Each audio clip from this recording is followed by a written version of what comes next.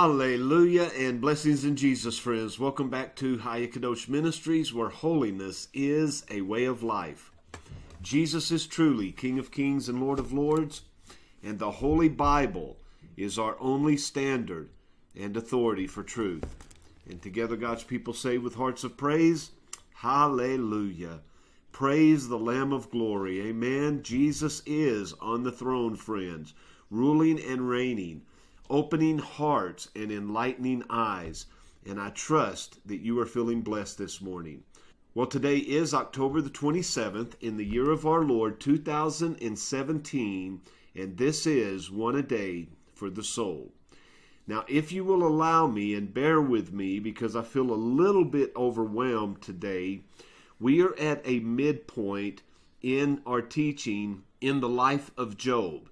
And what I mean by that is that in chapter 24, Job is simply rehashing, restating a lot of the things that he has said. In chapter 25, Bildad responds with much of the same argument that he has already presented. And in chapter 26, Job is going to begin his last statement. And this is going to carry us to chapter 32. But in Job's last statement, carried through these four chapters, there are a couple things that I would like to point out. First of all, in chapter 27, Job says, As God liveth, who hath taken away my judgment, and the Almighty who has vexed my soul, all the while my breath is in me, and the Spirit of God is in my nostrils. My lips shall not speak wickedness, nor my tongue utter deceit. And so, through all of Job's pain, all of his suffering that has come from every possible side, Job still remains faithful in his relationship, his allegiance, and his understanding of who he is and who God is. For instance, in chapter 25, Bildad makes the statement, How much less is man? Man that is a worm, and the Son of Man, which is a worm. Now, we often like to see ourselves in a greater light than this, but in our relationship with God, that's exactly what we are, friends, in our understanding of who God is. We are worms. And what is meant by this is the same relationship that man to a worm.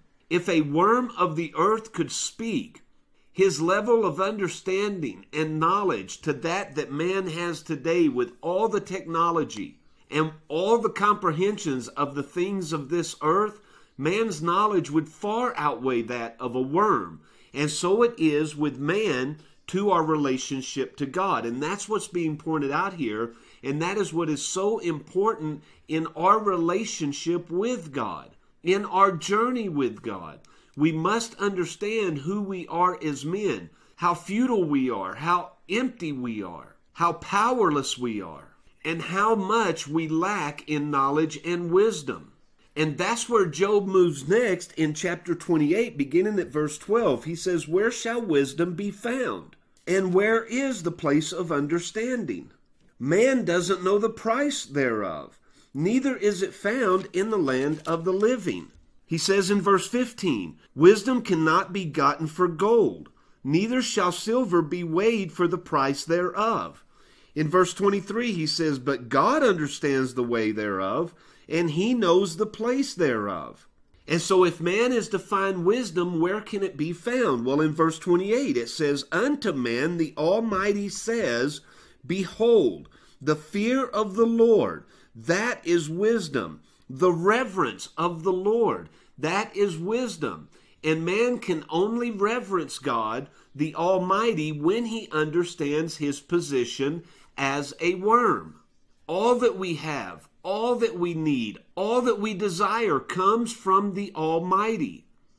And without him, we are nothing. And oh, that men should learn that. No fame, no fortune, no power, no success, no reputation can earn the wisdom of God. Only the bowed knee before the Almighty, a surrendered heart, can open us up to the blessing that wisdom brings. You see, it's all about our perception, friends. not thinking highly of ourselves, but thinking low of ourselves. And so again, we see the great paradox in spiritual understanding. In this world, in order to be highly esteemed among men, we must advance in knowledge. We must advance in power, in success, in fame, and in fortune. But as Jesus told us, what is highly esteemed among men in the book of Luke is abominable to God. And so, what is highly esteemed before God is a bowed heart, a humble position before the Almighty. And so, again, as we are told in verse 28 of chapter 28, the fear of the Lord, the reverence of the Lord, the understanding of man's position and God's supreme authority, that is wisdom. And to depart from evil is understanding. And that's why Job, considering himself a man of wisdom, in chapter 31, verse 7 says, If my step has turned out of the way, if I no longer walk on the straight and narrow, if mine heart has walked after mine own eyes, if any blot has cleaved to my hands, then let me suffer at the hand of God. But I know the position of my heart, says Job. I see myself in a very lowered position, and I see the King of the armies of heaven high and exalted, lifted up above all others. And so Job remains faithful in his position. Though he slay me, yet will I trust him. For I know that my Redeemer liveth and shall stand upon the earth in the latter day. And all the suffering that we endure is only to prepare us for all the glory that is to come.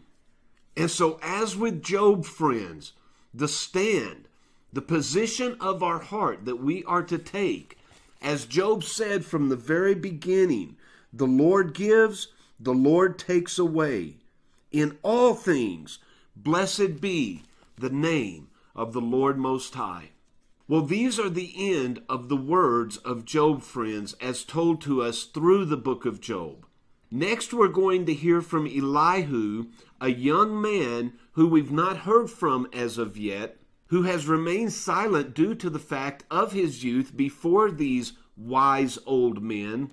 And yet, we're going to see much wisdom come from the lips of this young man, which teaches us that we should all be learning from everyone we come across, regardless of their age. Well, that's going to bring us to an end of our time together this morning, friends. I pray that you are gaining many insights from the life of Job and that is both changing you and assisting you in your journey as you seek to walk faithful before the Lord Jesus each and every day. Now, may your journey be blessed today, friends. May your life be full of joy and peace. And as He, the Most High, wills, and until tomorrow, I love you, and I'll see you on the next video.